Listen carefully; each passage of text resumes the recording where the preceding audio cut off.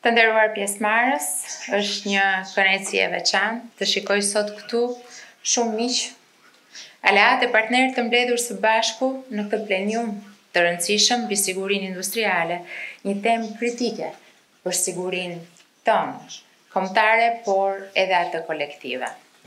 Nëse ka një fushë më specifike në të cilën asnjë nga ne nuk bën dot i vetëm, padyshim kjo është siguria. Gjatë dekadës së fundit, fusha e sigurisë është transformuar në mënyrë dramatike dhe bashkë me këtë ndryshim janë shtuar edhe kërkesat për zgjerimin e industrive tona të mbrojtjes. Dekada e fundit është karakterizuar nga një sërë ngjarjesh me përfshirje globale, që kanë ndikuar në mënyrë të drejtpërdrejtë në përkeqësimin e sigurisë dhe cënimin e normave dhe parimeve që kontribuojnë në një sistem të qëndrueshëm ndërkombëtar. Ngjarje të mëdha me impakt për shoqërinë njerëzore, siç është rasti i pandemisë, agresioni nga Rusia ndaj Ukrainës, situata e sigurisë në Lindjen e Mesme, por dhe zhvillimet në rajonin e Indo-Paqësorit, të gjitha këto kanë kombinuar në një mënyrë të tillë me konkurrencën në rritje për burimet e energjisë. Dhe unë, përveç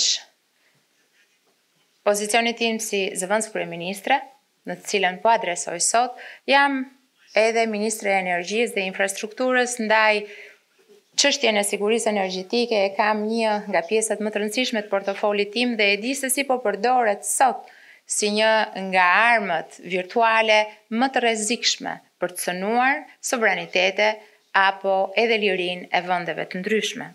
Ndaj të gjitha këto së bashku kanë shtuar kompleksitetin dhe kanë krijuar një peisazh të jashtëzakonshëm të sigurisë globale.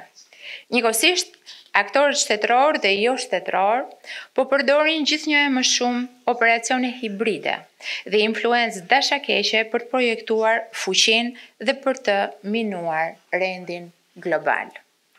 Këto rreziqe tradicionale, por dhe të pazakonta, bashkëjetojnë, duke prodhuar një mjedis në të cilin siguria po testohet në mënyra që nuk e kemi parë më parë.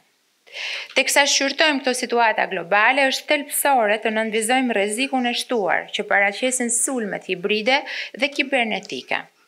Këto nuk janë më rreziqe hipotetike apo të izoluara, Luftrat e sotme zhvillohen jo vetëm në fushëbetejë me armë konvencionale, por dhe në hapësirën kibernetike, ku infrastruktura kritike, linjat e furnizimit dhe industritë e mbrojtjes janë objektivat e tyre të preferuara.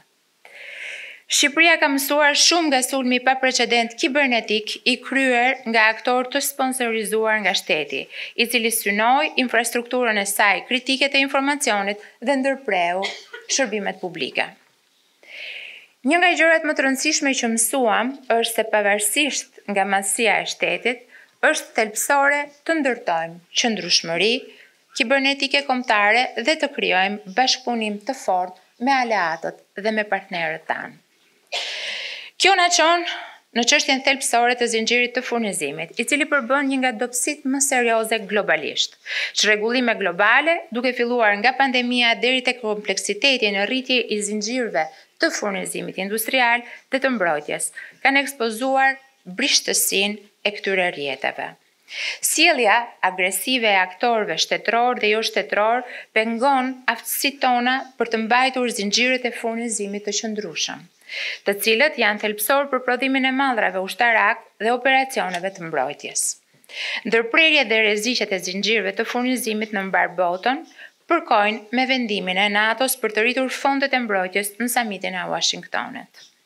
Aleatët e NATO-s kanë marrë hapa të rëndësishëm për të forcuar qëndrueshmërinë dhe mbrojtjen e industrive tona të mbrojtjes. Këto buxhete të rritura përfaqësojnë jo vetëm një investim për sa i përket pajisjeve, pra ushtarake, por dhe një angazhim për të siguruar infrastrukturën industriale që i mbështet ato. Shqipëria si një anëtare e NATO-s e ka kuptuar kërkesën strategjike për krijimin e një industrie të fortë të mbrojtjes për të zbatuar strategjinë e shkurajimit dhe mbrojtjes së NATO-s. Si rezultat, Shqipëria ka përafruar plotësisht angazhimin e ri të industrisë së mbrojtjes të NATO-s dhe ka kryer një rishikim të plotë të dokumentave strategjikë dhe kuadrit ligjor për të adresuar ringjalljen e industrisë së mbrojtjes.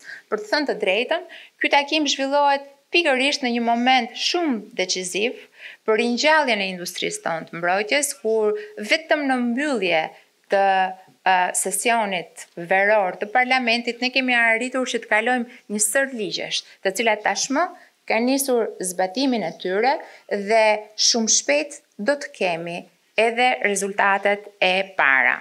Ky kuadër i ri rregullator promovon zhvillimin e kapaciteteve industriale të mbrojtjes dhe përmirëson zbatimin e standardeve, për të rritur ndërveprueshmërinë dhe sigurinë, duke hequr gjithashtu pengesat për tregtinë dhe investimet mes aleatëve dhe partnerëve. Në këtë kornizë më të gjerë vihet re qartazi, kalimi i Shqipërisë nga një konsumator i sigurisë në një ofrues sigurie në rajon. Interesat tona strategjike janë në përputhje me ato të demokracive perëndimore, janë në përputhje me kërkesat e NATO-s dhe të Bashkimit Evropian. Jemi shumë të vetëdijshëm për sfidat në rritje të rajonit, që përfshijnë manipulimin e informacionit, përpjekjet destabilizuese dhe aktet armiqësore nga vende të treta në lidhje me interesat politike sigurisht në radhë të parë, por më pas dhe ato ekonomike, pikërisht në një nga zonat më të nxehta atë të Ballkanit Perëndimor. Siguria industriale është pra kritike për mbrojtjen tonë kolektive, pa të ne komprometojmë bazën e aftësive tona ushtarake.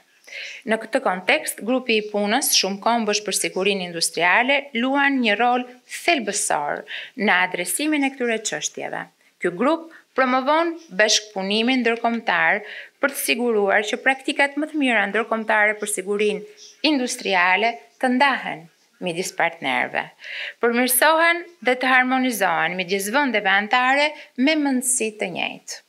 Përmes këtij bashkëpunimi ne mund të përmirësojmë sigurinë industriale për programet dhe projektet ndërqeveritare, duke mbrojtur informacionin e klasifikuar dhe atë sensitiv nga kërcënimet aktuale dhe ato të ardhshme.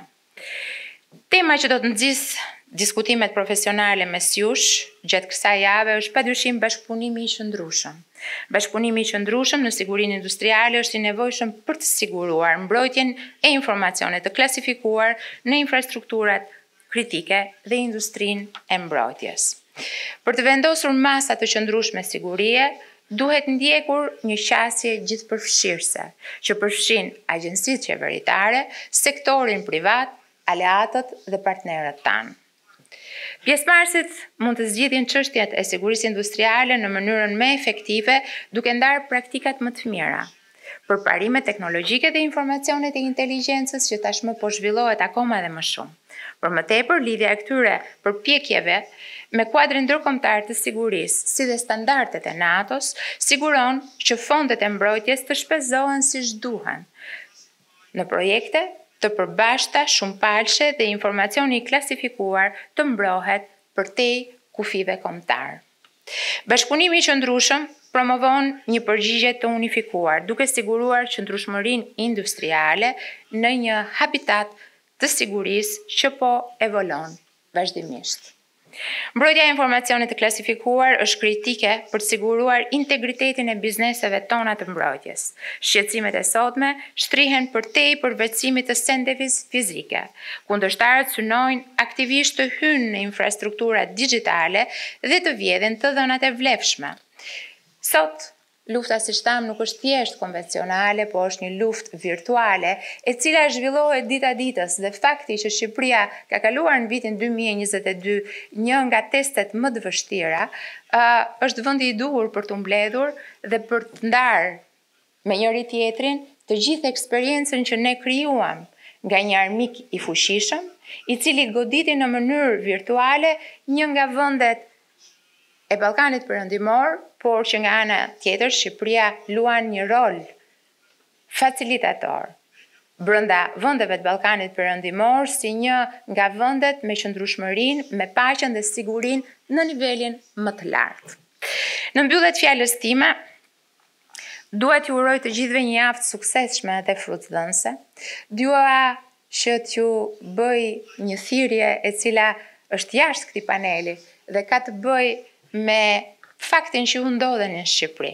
Kështu që përveç punës së mirë, përveç eksperiencave që do të ndani me njëri-tjetrin, praktikave të më të mira, jepini pak kohë vetes dhe unë mendoj që Kolegët që drejtojnë këtë forum, kolegët shqiptarë, do bëjnë të pamundurën për t'ju prezantuar ju me një nga vendet më interesante për zhvillimin turistik.